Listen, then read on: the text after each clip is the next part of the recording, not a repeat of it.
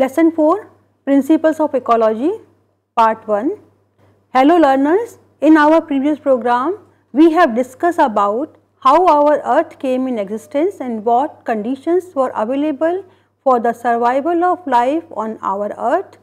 We have also learnt how humans have been interacting with the environment. Rapid expansion of industrialization has resulted in depletion of natural resources and pollution of the environment. The very survival of humans is now threatened because of environmental degradation. A simple change in the environment can have a profound effect on all living things. The destruction of one species can mean the death of many other species. We cannot contribute to harm our environment due to a poor understanding of ecology that is our surroundings.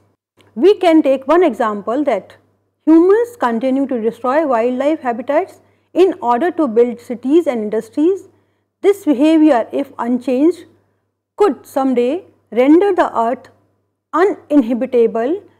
Thankfully, here is an opportunity to better understanding ecology. For this, you have to understand some important concept of ecology. I am Neelam Gupta. Welcome you in this program. So, today's topic is Principle of Ecology of the Module 2 titled Ecological Concepts and Issues.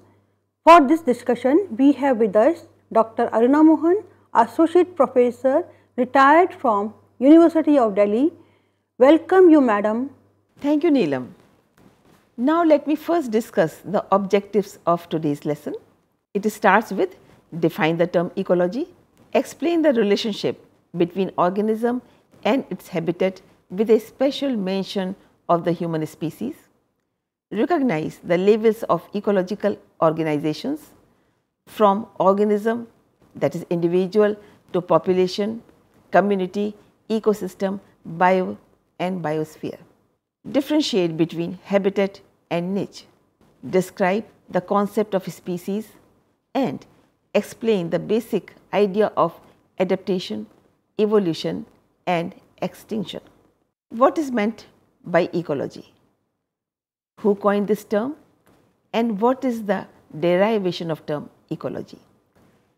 Then answer can be in simple words as interrelated relationship of an organism with abiotic and biotic factors of environment. Coming to concept of ecology again, the term ecology was first coined in 1869 by German biologist Ernst Haeckel. It has been derived from two Greek words, oikos means home or estate and logos means study. Ecology may be defined as a scientific study of the relationship of living organisms with each other and with their environment. In short, you and your environment. The emphasis is on relationships between organisms and the components of the environment namely abiotic that is non-living and biotic that is living. Ecological levels of organization.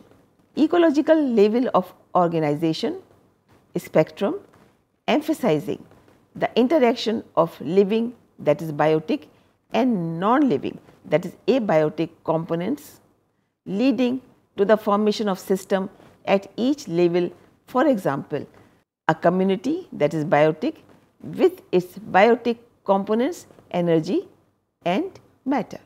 Example a community that is biotic with its abiotic components like energy and matter makes ecosystem.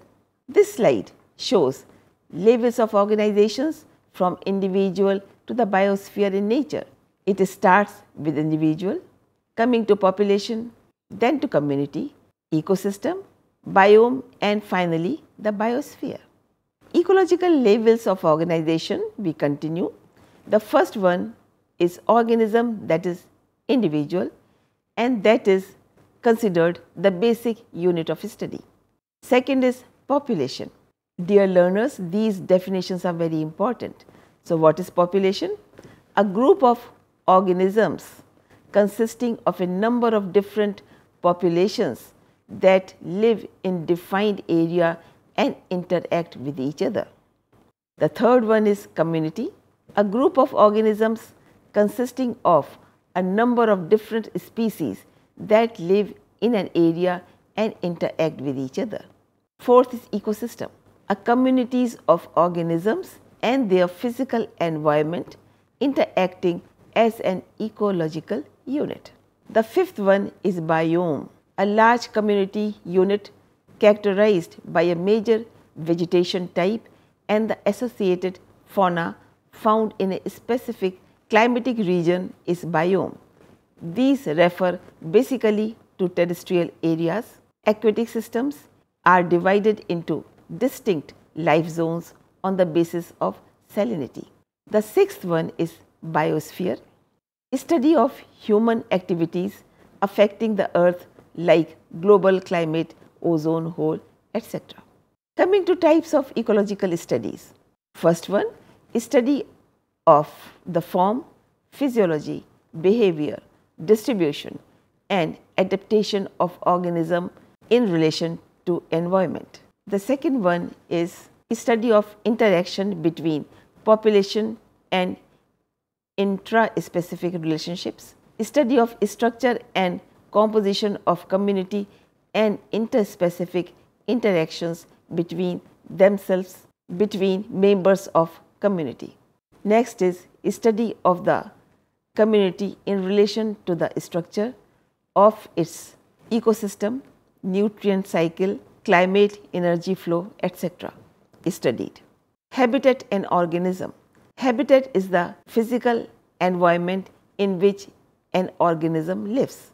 Each organism has particular requirements for its survival and lives where the environment provides for those needs that is water, food and shelter. The features of the habitat can be represented by its structural components namely space, food, water and shelter. This slide shows the interrelationship. Habitat is in the center which must have food, water and shelter for an organism to survive. Habitat and its types. Habitat is the physical environment in which an organism lives. Each organism has particular requirements for its survival and lives where the environment provides for those needs that is water, food and shelter. Earth has four major habitats terrestrial, freshwater, estuarine and ocean. In this slide you can see the types of habitat. You can see terrestrial where you can see grass and trees. Then you can see freshwater there you can see a river. Then marine you can see and estuarine where river meets the sea. A habitat may support many different species having similar requirements.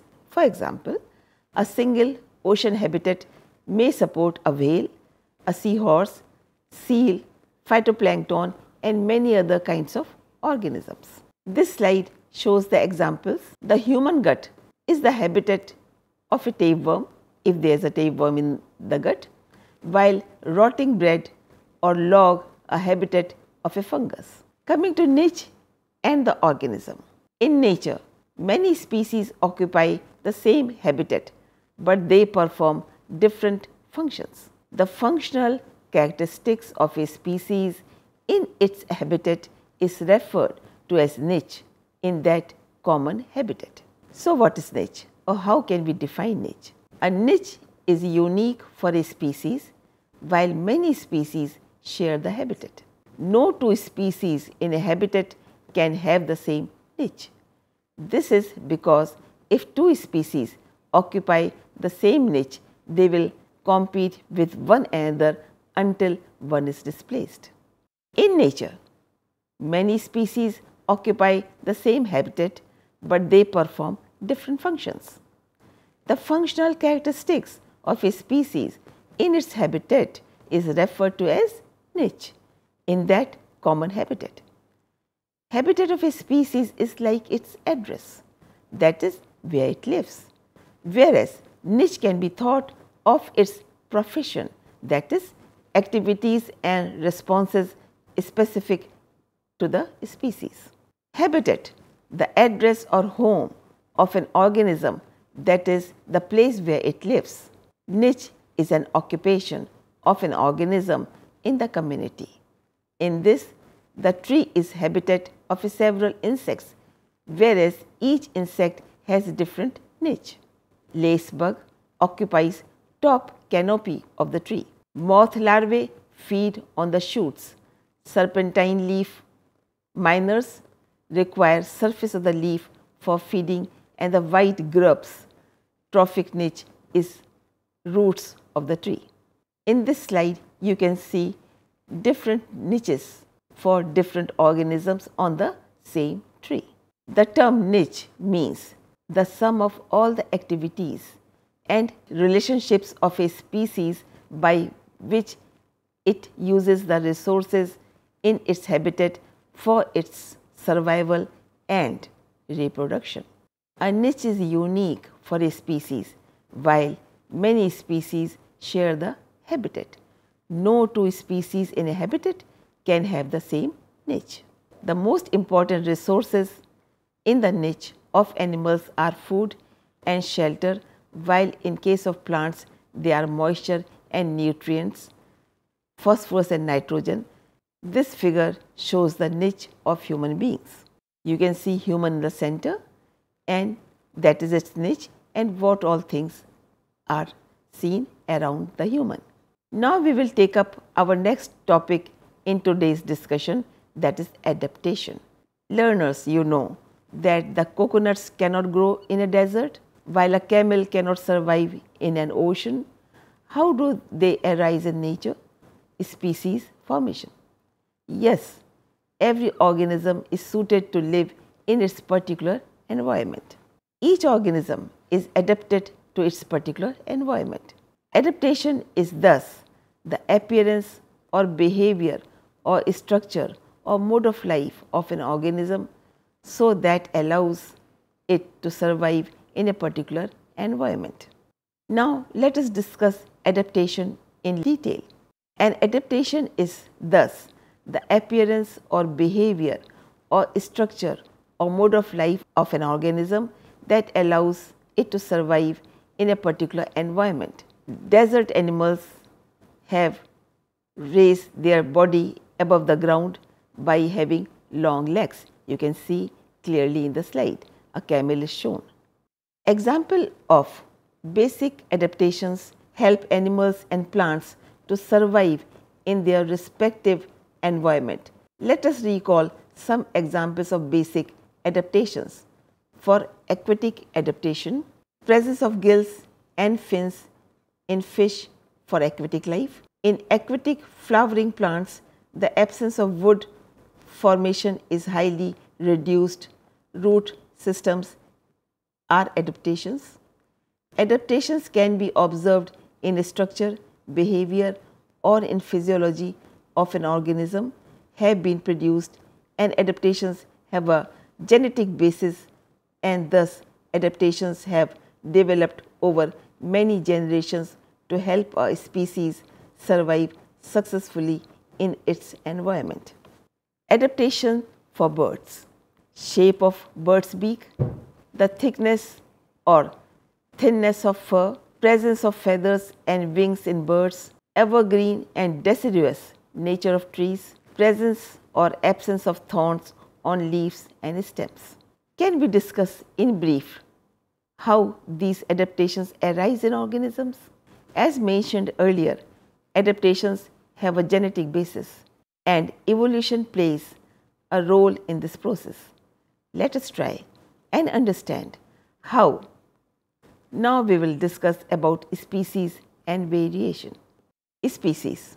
A species is defined as a group of similar populations of organisms whose members are capable of interbreeding and to produce fertile offsprings that means children. A tiger, a lion, a lotus and a rose are examples of different species. Every species has a specific name understood by people all over the world. humans belong to a species of Homo sapiens. Only members of the same species can interbreed to produce fertile offsprings. Every species has its own set of genetic characteristics that makes the species unique and different from other species. However, species are generally composed of a number of distinct populations which freely interbreed even though they appear to be different in appearance. Difference in color of skin, type of hair, curly or straight, eye color, blood type among different ethnic groups represent variation within human species. Similarly, different shape and size of cows, dogs and cats etc. are examples of variation within each of these species. In plants, tall and short pea varieties, various shape and size of brinjal exhibit among these plant species. Variations are produced as a result of chance mutation. Competition and natural selection determines as to which variation will succeed and survive. Those variations that enable a species to survive in the struggle for existence are encouraged and promoted. In plants, one can observe wide variation in size and shapes of mangoes, brinjals, etc. Coming to topic evolution. A valid theory of evolution was propounded by Charles Darwin and Alfred Wallace in 1859. This theory has been extended in the light of progress in genetics and is known as Neo-Darwinism. According to this theory, organisms tend to produce more offspring that can be supported by the environment. Organisms reproduce in far larger numbers that can be supported by nature. Natural selection selects among the variations that is genes that help the organism to adapt to its environment. Such organism gets to grow up to adulthood and reproduces thus pass on their genes suitable adaptations to the next generation. Evolution thus results in adaptation and diversity of species. This slide shows the speciation starting with founder population, then overcrowding, then some mutation leading to variations, then in environment 1 it will grow differently that is geographical isolation, then there will be environment 2. Since there is reproductive isolation, so there will be two different species formed species 1 and species 2. Speciation process by which new species arise and evolution is the mechanism by which speciation is brought about. A species comprises of many population. Different populations often get isolated due to geographic barrier, examples mountains, rivers, oceans, etc. When a population that was interbreeding otherwise gets separated into two completely isolated populations by a barrier which prevents their interbreeding and gene exchange. Ecological isolation caused by differences in temperature, humidity, pH etc. in the environment of the two populations. Mutations occur randomly in isolated populations giving rise to new variation within each subpopulation of these mutations, those that help to adapt to the environment are reproduced in greater numbers due to natural selection. In other words, since no two environments are identical, natural selection pressure also operates in different ways depending upon local conditions such as climate, diseases, predation, predators, etc. Natural selection affects each subspecies in different way. So, different variations get selected, established. with passage of time. The subpopulations became very different and get isolated reproductively and can no longer interbreed. Later, when the barrier is removed, the subpopulation are still not able to interbreed and are still not able to interbreed and become two distinct species. There is an example of formation of new species, speciation, species formation. You can see two different kinds. One is kaibab squirrel, north rim and Abert squirrel, south rim. It is very good example. Speciation that is species formation. Now about these two squirrels which I have just now shown, I am giving you the details. An example of speciation is seen in the two species of squirrels, Kaibab squirrels and Abert squirrel that live opposite sides of Grand Canyon. The two squirrels populations became separated species about 1 million years ago due to the changed course of river Colorado.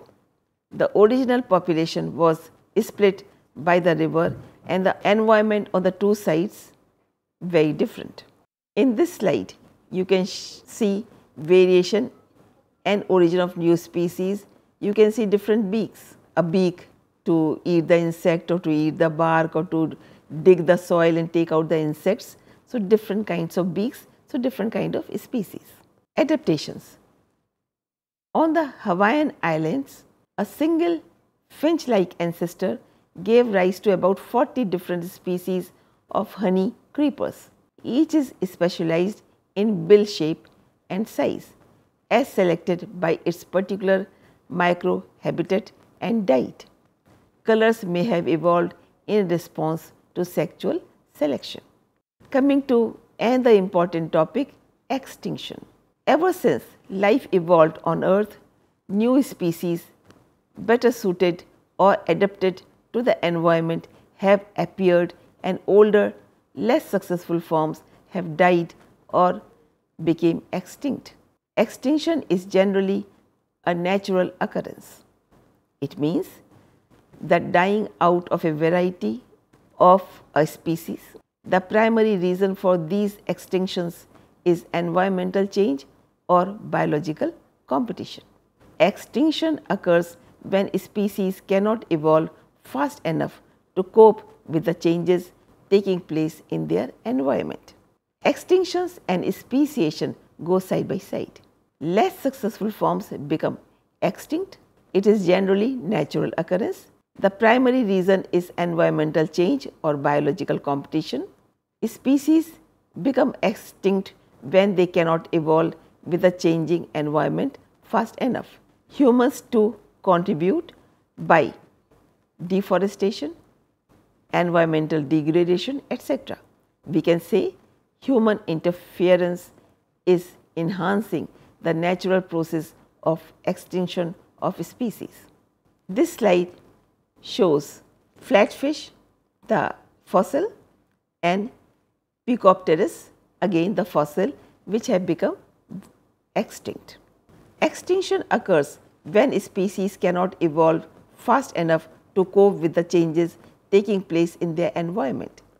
Many species have gone extinct during geological history of the earth. Fossils are the preserved remains of animals, plants and other organisms that lived in the geological past. Thank you Dr. Aruna Mohan for sharing information related to principles of ecology. Before we wrap up, we would like to recap the main points that is what you have learned. Ecology may be defined as the scientific study of the relationships between each other and with their environment. The term ecology was coined by Ernest Haeckel in 1869. Ecology encompasses study of individual organisms, population, community, ecosystem, biome and biosphere which form the various level of ecological organization. Habitat is the physical environment in which an organism lives. It corresponds to address of an organism. Niche refers to the functional position of a species in its habitat. A species is a form of populations whose individual members are capable of interbreeding with each other to produce fertile offspring. Evolution is the change which gives rise to new species. Mutation and recombination are sources of variation or differences in the genetic makeup or gene pool of a species. Natural selection is the mechanism proposed by Darwin and Wallace which interacts with variations to cause greater reproduction of the genes which help in adaptive to the environment. Thus, evolution results in adaptation. Evolution leads to speciation or formation of new species. Isolation is the factor which supports specimen. Isolation is of two types that is geographical isolation and reproductive isolation. Extinction may occur due to catastrophic events in nature or due to human activities. So, this is all about concept of ecology, different levels of ecological organization, habitat and niche, concept of speciation and basic ideas about adaptation, evolution and extinction. Thank you.